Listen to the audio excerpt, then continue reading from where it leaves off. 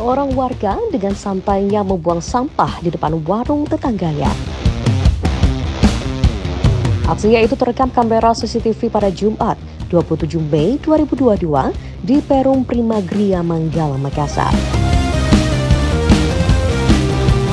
Menurut pemilik warung, aksi tetangganya itu sudah dilakukan sejak Februari sampai saat ini. Ia pun sudah melapor pada pihak RT RW setempat. Motif pelaku melakukan hal itu diduga karena dendam. Sebelumnya ia sempat masuk penjara selama dua bulan karena telah mencekik anak pemilik warung.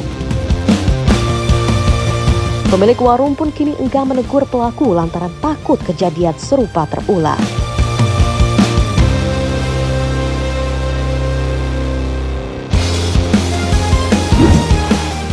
Jangan lupa ya, follow, like, subscribe, dan share akun sosial media Pikiran Rakyat Media Network.